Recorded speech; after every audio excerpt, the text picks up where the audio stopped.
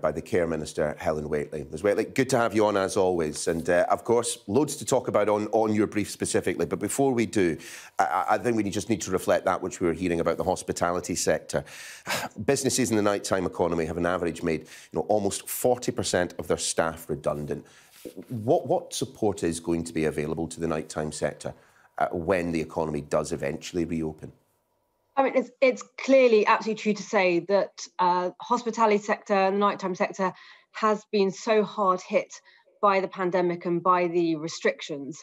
I mean, what we know is already there's been a package of 280 billion pounds worth of support to the economy from the chancellor, from the government. And as of next week on Monday, the Prime Minister is going to be setting out the plan for how we come out of lockdown. Uh, so to me, that's a really important thing for us to be uh, step by step, step and doing this cautiously, of course, because we want this to be the last ever national lockdown, but step by step for us to be taking forwards, um, coming coming out of these restrictions, you know, firstly getting children back to school, but in due course opening up hospitality and getting back to life more like normal. I, I, suppose part of the problem has been, of course, the government having finite resources and determining where they were to go. You know, before the vaccine rollout started, it was very difficult to see how the nighttime economies could get back to anything approaching nor normality. I mean, you, you, appeared on the show uh, back at the tail end of September and you know, said the following, it, it, it doesn't make sense to continue supporting jobs where there, there simply isn't work at the moment. Was that, though, perhaps an oversight? Given the fact that we have seen almost four in 10 workers in that sector losing their jobs? Well, um, as I said, I think you know, the important thing is that in the weeks and months ahead, we take the steps to come out of lockdown, to move on from the restrictions that we've had to have over the, the last you know, months, most of the last year. I mean, we've, we're in a much, much better place. Now we've had nearly 16 million people vaccinated. That's a huge deal. We have an enormous testing capacity as well. Um, we've learned a huge amount about the virus. We've got better treatments for it as well. Um, so I see us being in a much better place uh, as we come through this. But we will, of course, hear more from the Prime Minister on Monday. Yeah, a, a, huge deal and indeed a, a, huge achievement, of course. Um, uh, the, the, route out of all of this, though, is, is, of course, where the focus is, and specifics will come on Monday. I, I understand that. Uh, but as you said, we will want this to be the last national lockdown. The signal from central government has been that we want to be relaxing things on a, on a national basis.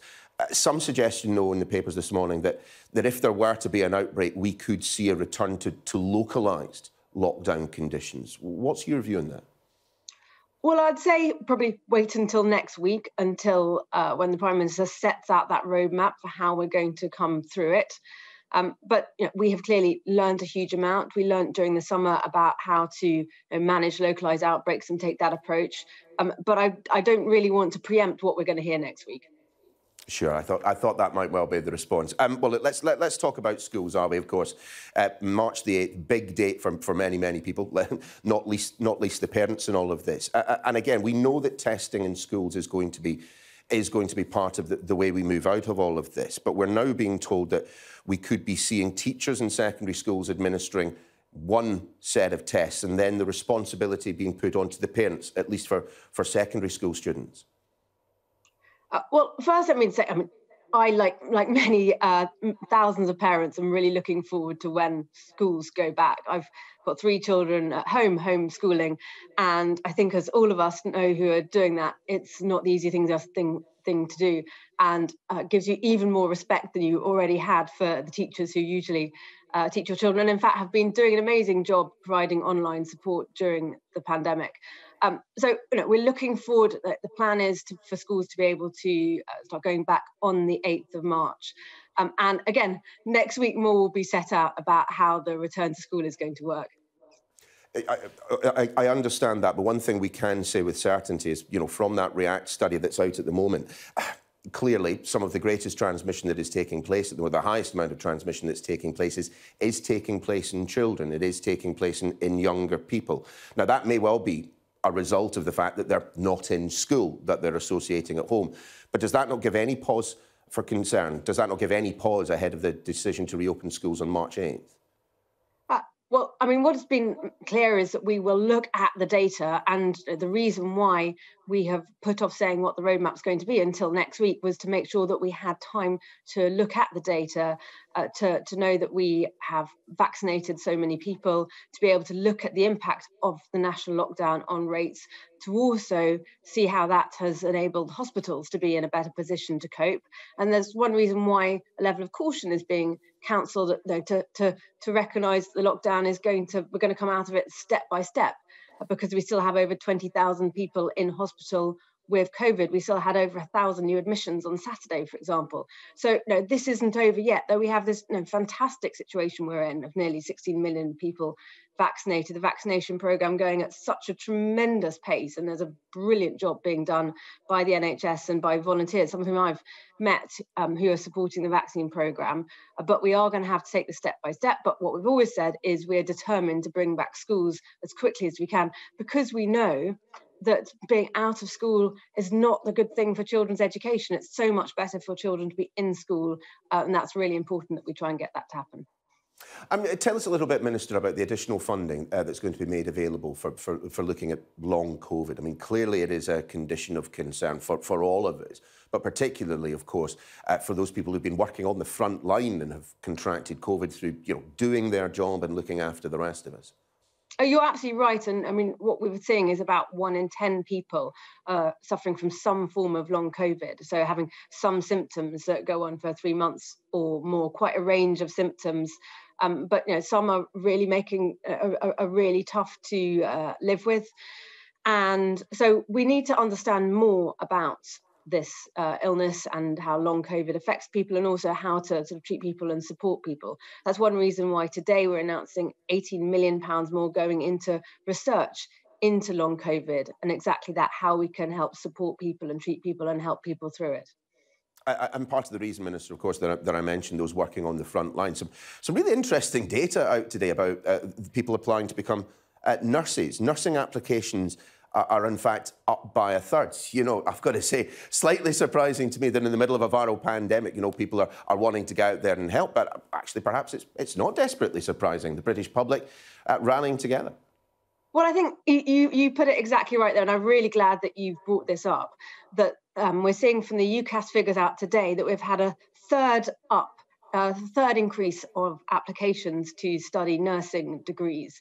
Um, so we've had nearly 50,000 people apply to study nursing already to start this autumn, which is you know, tremendous news for, for me with oversight of the NHS workforce. It's a really big deal because I want us to make sure we have more nurses, that we have the workforce that we need, and we have 50,000 more nurses coming to the NHS by the end of this parliament. So this is really important for the NHS. But exactly as you say, it's a real reflection on how people have seen the fantastic job that the NHS and actually social care workers have done throughout this pandemic and want to step up and join them and have got that sense of public service, of commitment and wanting to help others. So you know, overall, I think it's really, really good news and a real testament to how our health and social care system has been coping in this pandemic.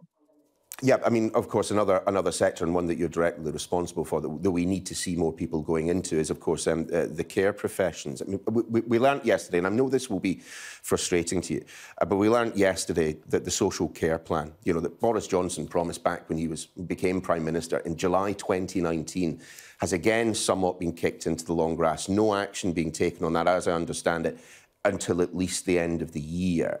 Can you just provide some reassurance to those who have family members in care homes, who are perhaps working eh, in social care themselves, that we are actually going to start doing this at some point? Because, you know, the party has been in power since 2010 and we have had a number of promises on social care. Everyone understands pandemics get in the way of things, but it does feel like, once again, social care is, is not where it should be. I mean, absolutely. And I remember it was it was roughly a year ago that the Prime Minister asked me to take on the job of being Care Minister. And then the job was very much going to be driving forwards our ambitions for social care reform. Then we've had the pandemic, and inevitably we've had to focus all our resources and attention um, on on helping social care through this really, really difficult time. But we are absolutely determined that we're going to take forward social care reform. There is work going on on this. We're going to come out with our plan during the course of this year. We've seen you know, absolutely that the social care system needs it. It's been really tough for social care to get through this pandemic. And so, you know, I'm determined that coming through this, we will get to a better place for social care and make sure we get to a care system that everybody knows is going to be there for them and give them the care that they need. And also, as part of that, make sure that we really give the social care workforce the recognition and the support that they deserve for the really tough job, but actually really rewarding job that they are doing mm. too. Uh, well, look, people are, are, are, waiting for that, and they're eagerly waiting for that, and they have been, they have been eagerly waiting for, for quite some time. Um, but just one last question on, on care homes. Um, 95%, I think as of the end of the, the end of January, about 95% of care home residents had had their first vaccine. What is the earliest possible moment that people will be able to go and see their relatives in care homes? I really, really want to open up visiting in care homes more. I mean, to be clear, we have made sure that visiting can continue even during this national lockdown. Mm-hmm. But I recognise it's not the normal kind of visiting. It's having to use screens or visiting sure. pods or through windows if care homes don't have those facilities. I will say we have put funding into social care to help care homes uh, have these facilities and have extra staff if they need to uh, supervise. But what I want to do as we come out of the national lockdown is also increase the amount of visiting. Um, I don't see that we uh, have to wait for the second vaccination dose. I want us to open up sooner than that. But I will say, with this, as with generally as we come out of lockdown, we do have to be cautious. Um, say residents, most residents in care homes have only had their first dose, and some of them only very recently. So it will be step by step. But I'm determined, so that we can see people, you know, go back to to to no even if it's to be able to hold hands again and to to see somebody who you haven't been able to see very much in the last few months um, and over no, last year i really want to make that happen again Minister, I know we've got to let you go, but just for clarity, when you say second dose, do you mean second dose for all of us or second dose for care home residents? I meant for care home residents. Great. Thank you. Minister, great to have you on the programme. Thank you.